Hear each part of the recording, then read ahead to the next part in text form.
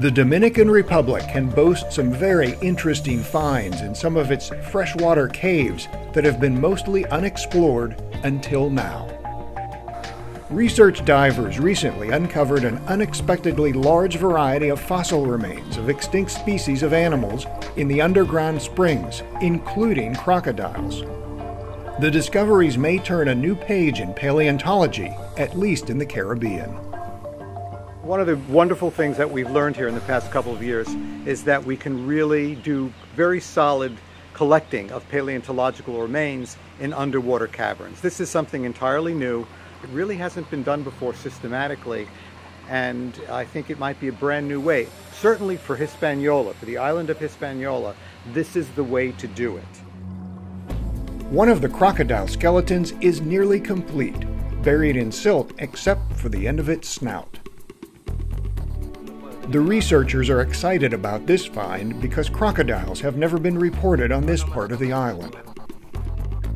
The croc findings were so unexpected and recent, the scientists are still in the midst of research to determine age and species.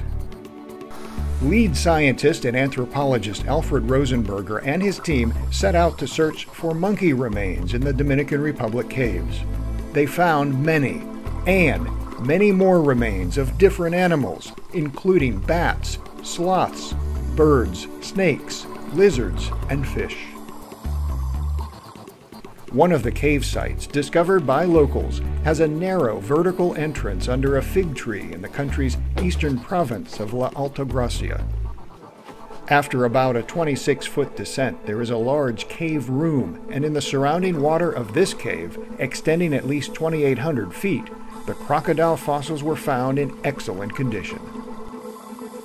One of the beautiful things about finding this material in underground caves is that the, the uh, preservation is extraordinary.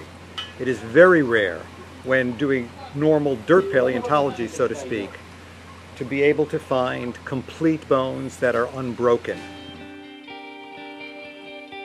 Other caves have more inviting entrances, but because of their remoteness and the fact they are filled with water, they had remained largely unexplored until now.